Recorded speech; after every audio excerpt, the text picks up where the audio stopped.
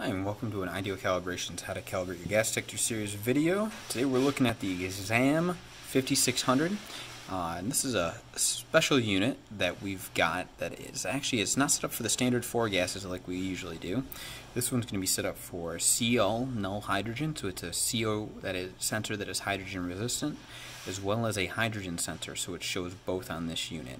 Uh, it's a little different to calibrate versus some of the other ones, so I thought this would be a good one for us to go through. So let's get it started up, and then in the meantime, uh, and then while that's happening, we can talk about some of the other equipment. Uh, first thing we're going to do is hold this button here on the right. It'll beep and go into startup mode. And we'll pop that down there for now while it's starting up. Uh, next thing you do, make sure you have your calibration cradle with this tubing attached. Uh, if you don't have the tubing, this uses special tubing. Uh, it's usually standard tubing. It's about eighth inch on the internal. This is about quarter inch uh, that it needs to fit onto this here. So make sure you, you've got that on there right. And a 0.5 liter per minute regulator, as well as two cylinders of calibration gas. We have 100 parts per million CO here uh, with an expiration date that we're, we're well within as well as a 500 part per million hydrogen, again with an expiration date we're well within. So, and CO and hydrogen you don't really have to worry about fades so much, but you know it's still still a good idea. You want to make sure all your expirations are good. So right now you can see we're reading zero and zero on here, but we're going to go through and we're going to do a ca calibration on it. So in order to do that, we have to get inside this cradle. So the first thing you have to do is take this boot off. So the way you do that, pop this out, pull it through there, and then take this and just kind of slide it out there. And we'll put this off to the side for now. Okay, got that there. Now, let's go ahead and put it in calibration mode. And to do that, press and hold this button on the left for a couple seconds. And the screen will change. And you're going to see 000. Now the code is 001. So we're going to acknowledge the first digit, acknowledge the second digit, increment third, and acknowledge. And now we're in zero in cal mode. So, first thing we want to do is we're going to zero this unit. So to do so, we're going to hit OK. Now you can see it shows all the sensor channels are zero. You see how there's an extra one here? So there's H2, then there's CO, and then H2. And what's going on there is there's an extra sensor that's within the CO sensor that actually detects hydrogen and it cancels it out from the monitor so that it doesn't screw up the CO sensor. So let's acknowledge that and say it's good on zero. Press OK. Now it's going to go through. You don't have to press any button here. And now it's got either do the one cal or the full cal. Let's go down. We're going to start with the full. So increment using this button. And now let's go ahead and hit OK and it's going to tell us what sensor we're going to do first. Okay, it looks like we're doing hydrogen, so let's get that out of the way first. First things first, go ahead and we're going to slide this in to the cradle, and now push it down. And it'll make that weird click sound, and that's how you know you did it right. So let's get our hydrogen. It's right here. Open up the valve as usual on the regulator. Now screw it in.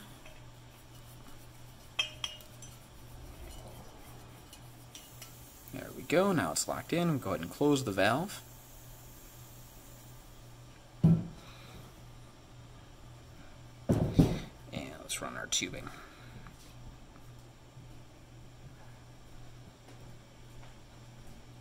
There we go. Good deal. Okay, you can see it shows zero now. We're going to turn our gas on.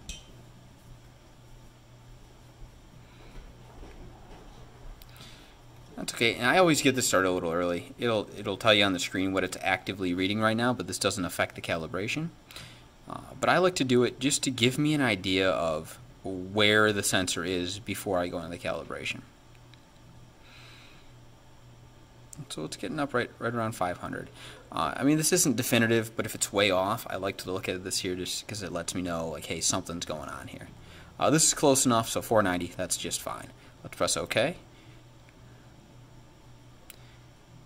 One more time.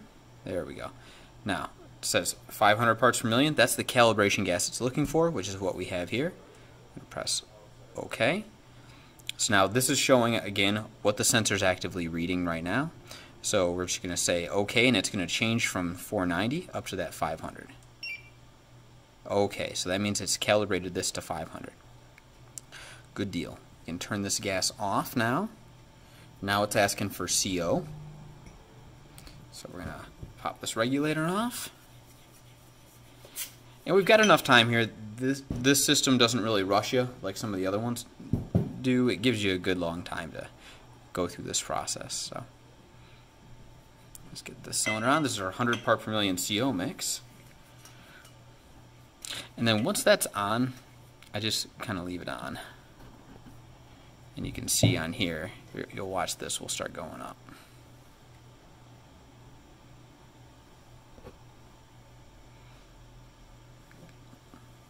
There we go.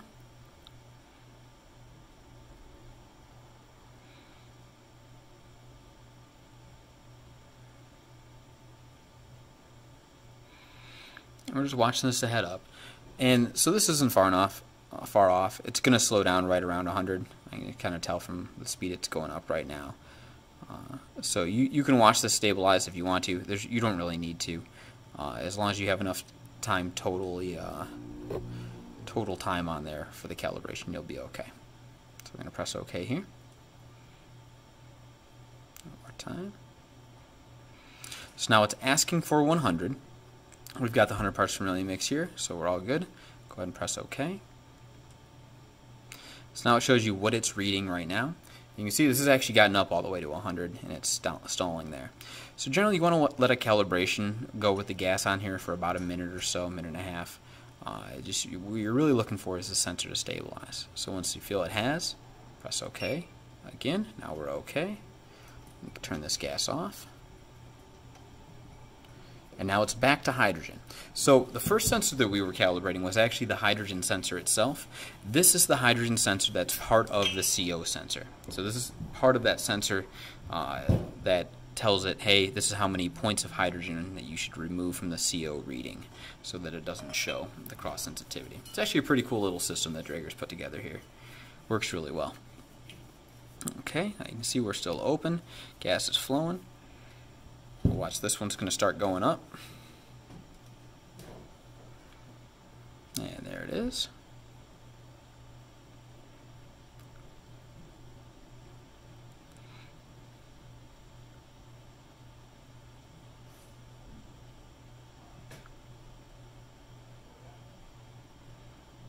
Okay, good deal. Looks like it's stalling right around 500.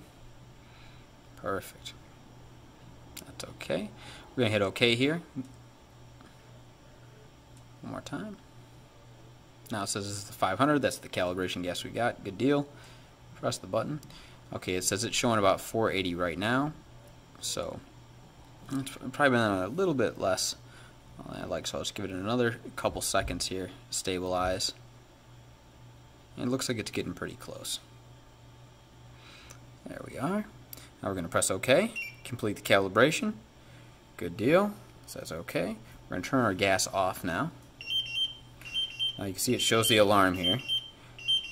But what we're going to do now is pop this out. Press that little button.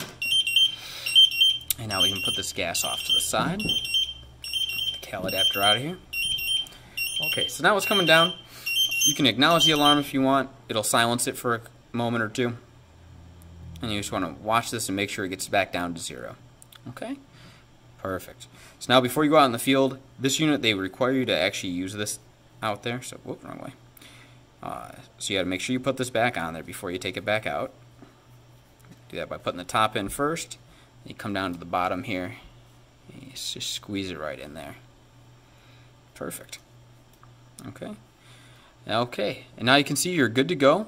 Um, monitor is ready to be taken out in the field uh, at this point. So you can see that the, the CO plus, that's that CO null hydrogen sensor in there, that's the one that has the, hyd the hydrogen resistance. So you can see, you're not going to see an actual reading on it here, but when you come into contact with hydrogen in the world, you'll see the hydrogen will go up over here, and the CO sensor isn't going to show as much on there.